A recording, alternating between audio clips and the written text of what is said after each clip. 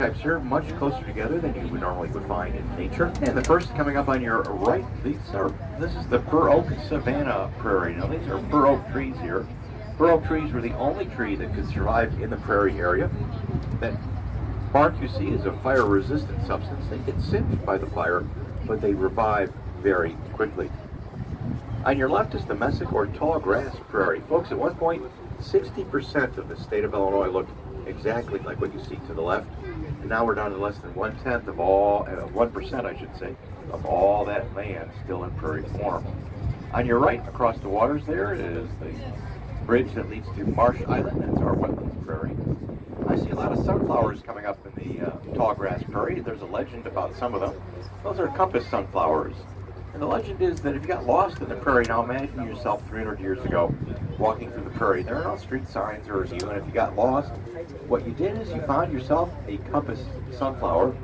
The basal leaves, those are the leaves at the very base of the sunflower, generally pointed north and south. And if you found a compass sunflower, you found your directions as well. Now the uh, plant, the flowers coming up on either side of the cab right now with their yellow petals pointing down, these are gray-headed cone flowers.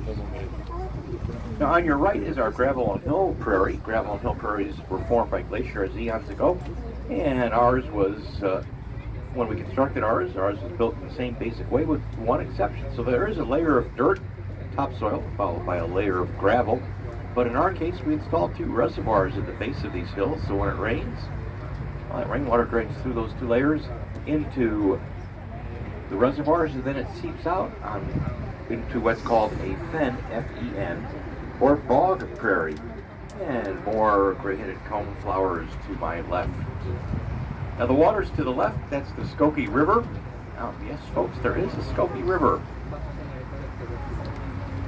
When we took the property over at night to kind of meander to the center of the property, it's, kind of a marshland, so we relocated that river to the west side. It's one of our natural areas.